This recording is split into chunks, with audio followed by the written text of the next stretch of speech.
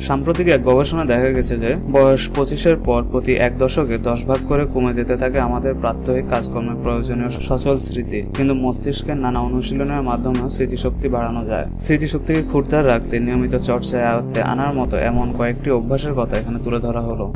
যে কোনো ধরনের ঘুমের সমস্যা, এমনকি এক ঘণ্টা ঘুম না হওয়ার বিষয়টাও স্মৃতিতে গোল পাকাতে পারে।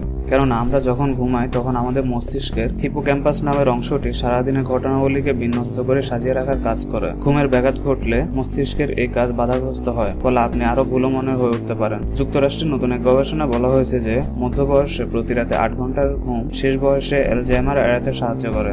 প্রতিদিনের কাজগুলো একই রকম ভাবে না করে মাঝে মধ্যে একটু অদল বদল করুন। যে কাজটা সবসময় ডান হাতে করে থাকেন, সেটা বাম হাতে করার চেষ্টা করুন। যেমন সকালে দাঁত মাজার কাজটা প্রতিদিন যে হাত দিয়ে করেন, তা অন্য হাত দিয়ে করার চেষ্টা করুন। সকালে প্রতিদিন যে পথে অফিসে যান, একদিন তা পাল্টে দেখুন। হার্ভার্ড ইউনিভার্সিটির বিশেষজ্ঞরা বলেছেন প্রাথমিক কাজকর্মে এমন অদল বদল মস্তিষ্কের জন্য ভালো। এতে মস্তিষ্কের কোষগুলো এক অন্যের সঙ্গে যোগাযোগ বাড়ে এবং মস্তিষ্কের কর্মদক্ষতাও বাড়ে। এমনকি এসব কোষগুলো অকালে মরে যাওয়ার হাত থেকে রেহাই পায়। ফ্রান্সের তুলুস বিশ্ববিদ্যালয়ের গবেষকরা বলেছেন, ওজন বেড়ে যাওয়া স্মৃতি শক্তির ক্ষতি করতে পারে। কোনো ব্যক্তির ওজন যত বেশি হবে, তার স্মৃতি তত দুর্বল হওয়ার আশঙ্কা থাকে। গবেষকদের ধারণা, অতিরিক্ত চর্বির কারণে ধমনী শুরু হয়ে গিয়ে যেমন হৃৎপিণ্ড থেকে রক্ত চলাচলের বাধা সৃষ্টি হয়, তেমনি মস্তিষ্কের রক্তনালীতে এতে বাধার সৃষ্টি হতে পারে। ফলে মস্তিষ্কে ভালোভাবে রক্ত সঞ্চালন না হলে স্মৃতিশক্তির উপরও প্রভাব ফেলতে পারে।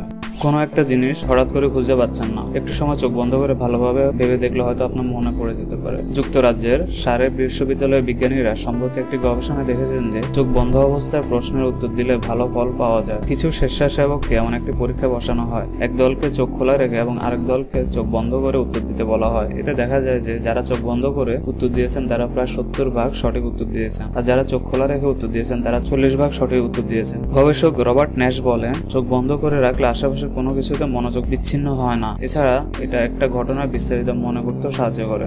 কোনো কিছু কেনাকাটা করতে গিয়ে দর কষাকষি করা অনেকের অভ্যাস। যুক্তরাষ্ট্রের ডিউক ইউনিভার্সিটির গবেষকরা দেখেছেন, এটা মস্তিষ্কের জন্য ভালো। মুদি দোকানিদের কথা ভাবুন, তাদের ছোট ছোট কত পণ্যের দরদাম মুখস্থ রাখতে হয়। আর আমরা দোকানে এই কেনাকাটার সময় কত কথা বলি। এ সময় নাকি মস্তিষ্কের একটি বিশেষ অংশ সক্রিয় হয়ে ওঠে। কেননা, তখন একই সঙ্গে আমাদেরকে অনেক হিসাব মেলাতে হয়, অনেক কিছুর কথা মাথায় রাখতে হয়। কেনাকাটা কিংবা দৈনন্দিন জীবনে কি পরিমাণ টাকা পয়সা খরচ হচ্ছে তা অনেকে মনে রাখেন না। কিন্তু এসব ছোটখাটো জিনিস মস্তিষ্কের প্রাত্যহিক কর্মক্ষমতার উপর প্রভাব ফেলে। এগুলো মস্তিষ্ককে সচল রাখে। উচ্চ রক্তচাপ থেকে একসময় শিরা উপশিরাগুলো শুরু হয়ে যেতে থাকে। এই কারণে মস্তিষ্কের রক্ত প্রবাহ কমে গিয়ে স্মৃতিভ্রষ্টটা দেখা দিতে পারে। যুক্তরাষ্ট্রের আলাবামা বিশ্ববিদ্যালয়ের একটি গবেষণা দেখা গেছে যে, উচ্চ রক্তচাপ আছে এমন মানুষের মধ্যে স্মৃতিভ্রমের সমস্যা বেশি দেখা দিতে পারে। রক্তচাপ যত বেশি হবে, এই সমস্যা ততই প্রকট হবে। আপনার বয়স যদি চল্লিশের বেশি হয় আর পরিবারে যদি হৃদরোগের ইতিহাস থাকে, তাহলে আজই একজন চিকিৎসকের কাছে যান। এবং স্বাস্থ্য পরীক্ষা করে দেখুন।